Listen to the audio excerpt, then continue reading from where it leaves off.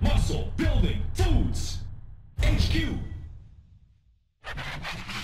Hey guys, what's up? Paul Niiyama from Muscle Building Foods HQ.com and I'm a fitness specialist, which means that I help people just like you to get in shape with the proper workouts, proper nutrition, and the motivation to be consistent with doing both. And I'm sitting here in the carpool waiting to pick my daughters up from school, so wanted to make a quick video. And in this video, I wanted to talk about something really important to a program, but it's often neglected. Uh, I, I, neglected this for many years, which is why my results kind of uh, staggered, or not wasn't uh, didn't stagger. It wasn't as uh, good as it could have been.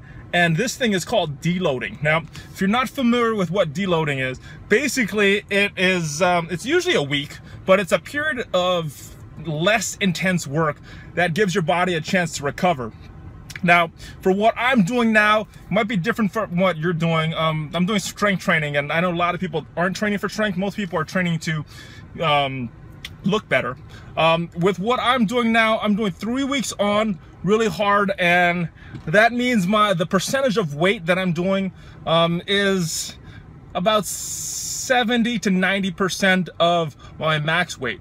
Now, this week was my deload week, which meant that my weights went way down. Um, usually about 40 to 60%. This week I was probably about 50% of what I do for my max. And what that does is that it gives your body a chance to recover. Now, there's a few different ways that you could uh, deload. Um, I did it with less weight. Also did it with a little less volume, but some people, they choose to keep the weight the same and do a little less volume.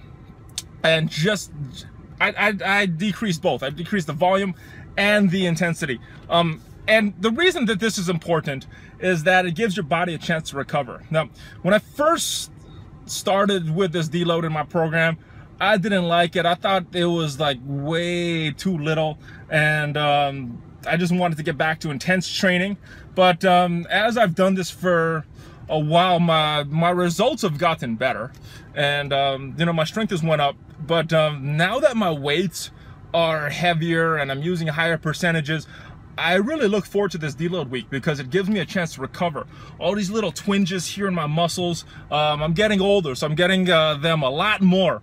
Um, plus, I have a lot of wear and tear in my body from rugby and uh, some of the other sports that I played. Um, it really feels good to get my body uh, back in shape so that when I do those hard weeks, uh, I can go at a higher percent and I'm not doing a um, just a compensating workout. Um, if you look at when you actually build muscles, when you're resting.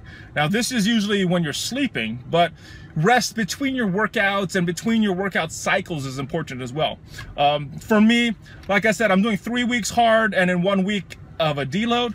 There's other programs. There's programs that people do six weeks hard, uh, nine weeks hard, 12 weeks hard and then one week to deload, a little longer deloads. And what, how long your deload period is gonna be depends on your program. How often you use it also depends on your program.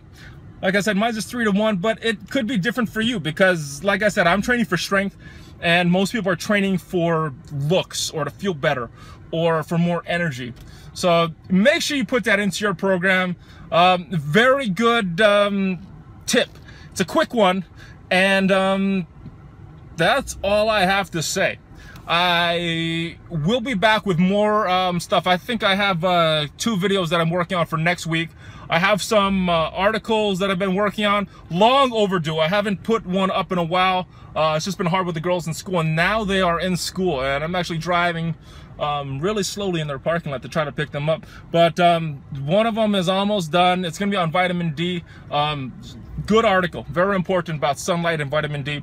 Uh, if there is anything that you have questions on or uh, need tips or motivation, let me know. You could find me on Facebook. You could find me on Twitter. Um, and make sure if you haven't already done this, get my free ebook on tips to help you work out and subscribe to this channel. Share this video with your friends and I will see you next time. I am Paul Niiyama from Muscle Building Foods HQ.